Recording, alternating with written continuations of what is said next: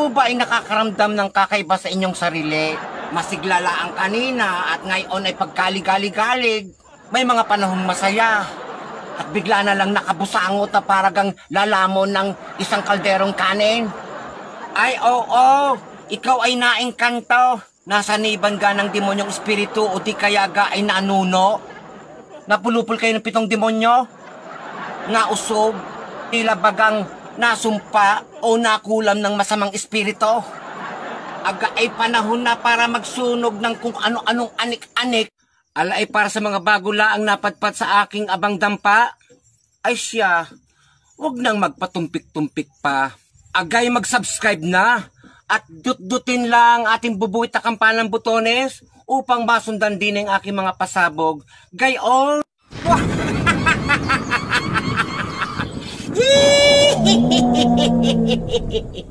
Gayon-gayon lang inyong gagawin. Kayo na po ang mag-adjust.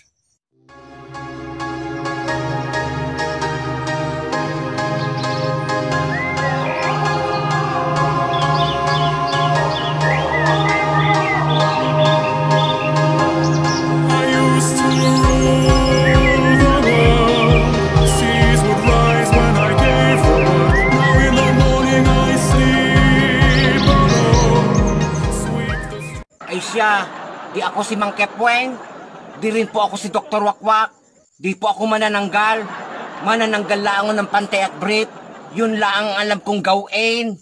Noon yon, di ngayon, ay siya, oo, tumpak na tumpak, natumbok nyo. At dapat, karapat dapat na ilapat sa dapat kalapatan pinaglalapatan ng 44 na karapatan ng isang tapat na tao na lumapit kayo sa albularyong tulad ko. Gayon!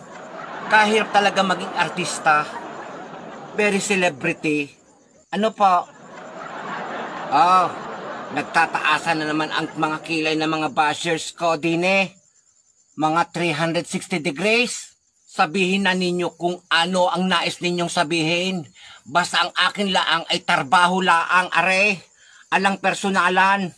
Tumbukin na natin ang talakay ngayong gabi. Panoorin ninyo ang video na are.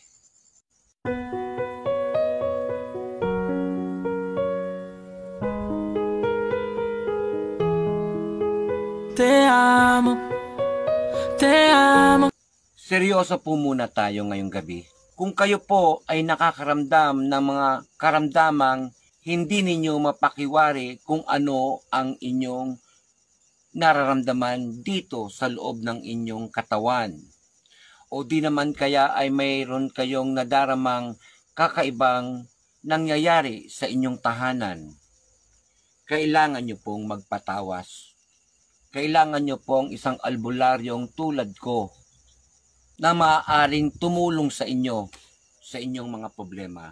Alam nyo mga bebe ng bebe ko, ituturo ko sa inyo ang mga nalalaman kong pagtatawas kung tayo po ay nasasaniban, na eengkanto, na nausog, nabalis, nababarang o nakukulam at ito ay malalaman natin kung tayo po ay magtatawas.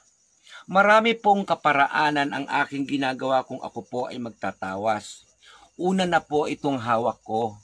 Ang hawak ko po ay white sage. Ito po ay sinusunog. Sinusunog po ito ah, kahit anong oras na nais natin. Pero mas mainam po ito kung susunugin ng alas 3 hanggang alas 6 ng hapon.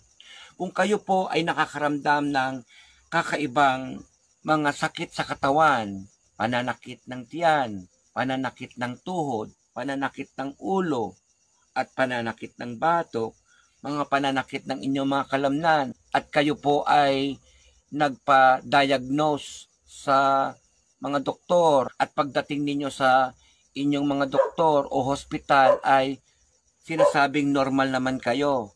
Yan ang panahon na maaari kayong kinulam. Ang gagawin nyo po, kung kayo po ay may nararamdamang ganyang kakaiba, kailangan nyo po magsunog ng white sage. Ang tawag po dito ay smudging. ang proseso po ng pagsusunog ng white sage ay smudging. Simple lamang po, kung kayo po ay magsusunog ng white sage, kailangan nyo pong magsindi ng kandila. At dito ay susunugin po ninyo ang ating white sage. Ito po isang kaparaanan ng pagtatawas na aking ginagawa. Normally, kung ako po ay nakakaramdam ng mga di dumadaloy na enerhiya sa aking katawan o maging sa aking tahanan, kung ako po ay nakakaramdam ng hindi maganda, nagsusunog po ako ng white sage. Masarap pong langhapin ang usok ng ating white sage. Nakaka-relax po at nakakawala po ng nakakapag-good vibes po. Maganda po ang amoy ng white sage. Ganyan po. Isa po itong pamamaraan ng pagtatawas ng aking ginagawa. Gayon din naman ay yung pong ah, dahon ng laurel. Kung kayo po ay ah, hindi makatulog, balisa, at parang meron kayong anxiety, kailangan nyo pong magsunog ng dahon ng laurel kung kayo po ay walang white sage. Masarap pong amuyin ang dahon ng laurel kapag ito ay nasusunog. Ganun po. Let's say, hindi umiepekto ang white sage at dahon ng laurel sa inyong katawan at sa inyong mga nararamdamang kamalasan sa buhay, kailangan nyo pong pumunta sa albularyo na tulad ko. Albularyo din po ako. Manggagamot po ako. At ito ay gusto kong ituro sa inyo dahil para sa aking pagpanaw ay matutunan nyo man lang ang aking mga kaalamang itinuturos dito sa YouTube. Meron po akong ibabahagi sa inyo na isa pang paraan ng pagsusunog. Ito po, ito po ito yung dahon ng sambong. Kapag ito ay ating sinunog at lalanghapin ang usok ng sambong ay parang natatanggal po ang mga negative vibrations na ating nararamdaman sa ating paligid, maging sa ating tahanan. Kung wala naman po kayong dahon ng sambong, ay maaari po kayong magsunog ng insenso at kamangyan o asupre para po mataboy lahat ang mga masasamang elemento o masasamang espiritu na maaaring sumanib sa ating katawan o makapasok sa ating tahanan. Uh, meron pa pong isang paraan ng aking ginagawa, yung po bang uh, coupon band, short coupon band. Hahatiin po natin ito sa apat, ganyan, at kailangan po natin ng langis ng niyog apat na piraso po sa isang coupon band ang ating hahatiin. At ito po ay may orasyon. Kung sino po ang may gustong makaalam ng orasyon ng ng coupon band ay magkomento lamang sa akin sa ibaba at ida-direct ko po kayo sa aking Facebook blog page na Maestro Guro. Doon po tayo maghuntahan yun pong coupon band na pinaghati-hati natin ng apat. Isang coupon band lang yun po na pinaghati-hati natin ng apat na piraso. Parang one-fourth po, one-fourth coupon band each. Ang langis po na ating gagamitin tulad ng sinasabi ko sa aking mga previous videos ay kailangan pong gawa ng alas 3 ng hapon araw ng biyernes. O di naman kaya ay malapit-lapit na po ang mahal na araw. Sa darating na biyernes santo ngayong taon ay kailangan nyong maghanda ng langis ng niyog upang sa gayon ay magamit ninyo ito sa ating pagtatawas. Ganito po yon. Doon po sa apat na hinati-hati nating coupon band, yun pong ikaapat ay ating ipapahawak sa ating pasyente. At lalagyan po natin ng langis ang noo ng pinaniniwalaan nating nasaniban o na engkanto upang malaman natin kung anong nilalang o sinong nilalang ang gumagawa sa atin ng masama. Yung ikaapat pong bahagi ng ating papel ay bubulungan natin ng orasyon. Ang orasyon po ay ibibigay ko po sa taong gustong makuha ang orasyong ito. Mangyari po lamang ay magkomento lamang po kayo sa ibaba at kayo po ay aatasan kong pumunta sa aking Facebook blog page na Maestro Guro at sabihin nyo sa akin kung anong klasing orasyon ang kailangan ninyo. Let's say, ang kailangan ninyong orasyon ay yung orasyon sa Coupon Band. Ito po ay aking ibibigay sa inyo. Yung ikaapat na bahagi po ay ating itatapal sa noo ng ating pasyente. At doon makikita ninyo kung anong hugis o kung sino ang gumagawa sa tao ng masama. Ganun po. Meron pa pong isang klase ng pag ng pagtatawas na aking nalalaman, yung pong coupon band, wala pong punit yung coupon band, hindi po punit. Malinis na coupon band po. At ito ay inyong ipahahawak sa ating pasyente. At kung let's say, nahawakan na ng ating pasyente, kukunin nyo po ito at bubulungan natin ng orasyon na naman. Meron pong kaakibat na orasyon yan. At ito nga po kako ay ibibigay ko sa inyo kung kayo po ay interesado. Magkomento lamang po sa ibaba. At kapag nabulungan na natin yung ating malinis na papel, ipahawak nyo po ito sa ating pasyente at titigan ang coupon bankanyo sa kanya. At doon, makikita ng pasyente kung sino ang gumagawa ng masama sa kanya. Ganun po. Meron din po isang matandang pagtatawas na aking nalalaman na itinuro sa akin ng aking ina. Yung pong sa kandila. Wala po kayong gagawin kung hindi kumuha po kayo ng kutsara o sandok na malaki. At yung pong tatlong kandila, kulay puti na kandila, ay hahatiin natin sa tatlo. Tatlong kandila po ang ating kailangan. At ito po ay hahatiin natin sa tatlo rin. So, ibig sabihin, magiging siyam na piraso ang ating kandila. At yung pong kandilang yan ay kailangan po meron po tayong nakasinding kandila din eh. At paninde. Gumamit po kayo ng posporo, wag pong lighter. Mas maganda po kasi kung posporo ang ating paninde. Totoo po yan. At let's say, sabihin na natin, yung pong ating sandok o yung kutsarang malaki na nilagyan natin ng kandila, mga kandilang pira-piraso sa kutsara o sandok at ito po ay ating idadarang sa nakasindi nating kandila. At syempre po, meron po tayong mangkok.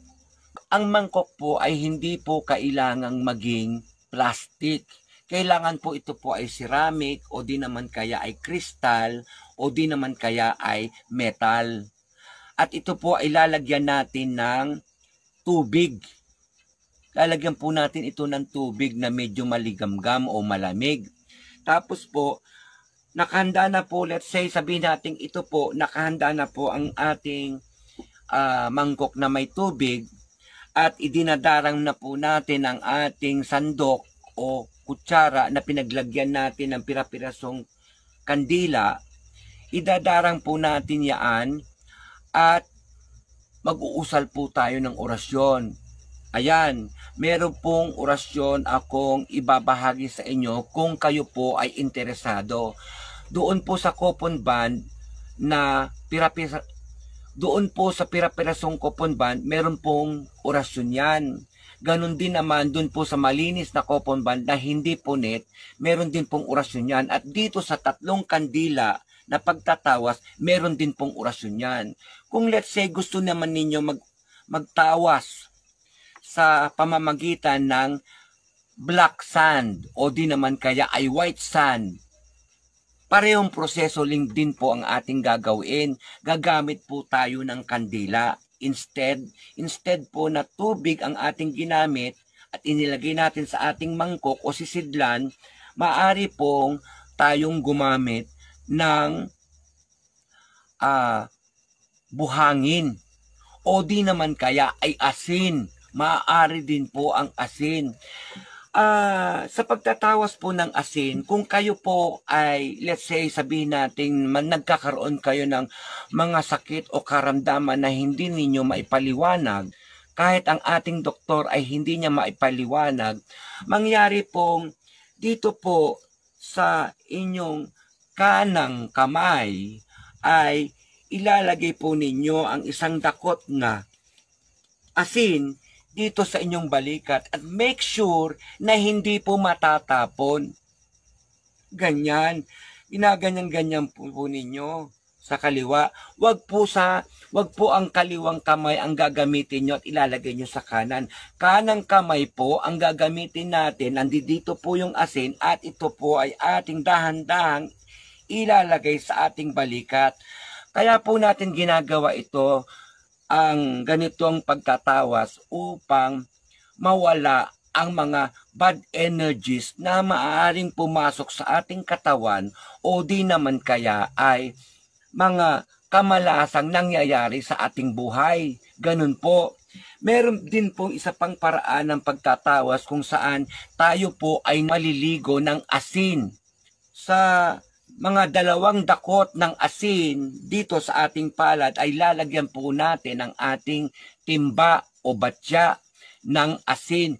At ito po ay ating ibabanlaw sa ating katawan upang dumaloy ang good energies o mga energy pores sa ating katawan. Mawawala po lahat ang mga bad energies na maaaring pumasok sa ating katawan kung tayo po ay maliligo ng asin sa araw ng biyernes. Biyernes, 3 o'clock ng hapon. Ayan po.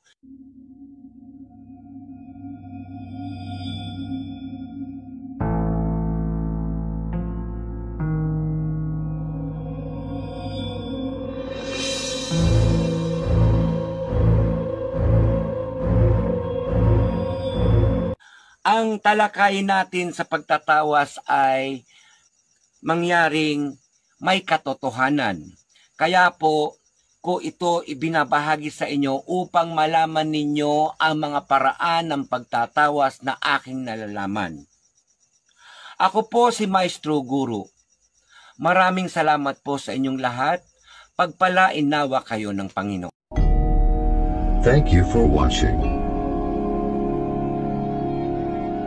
Maestro Guru. Don't forget to like, share and subscribe.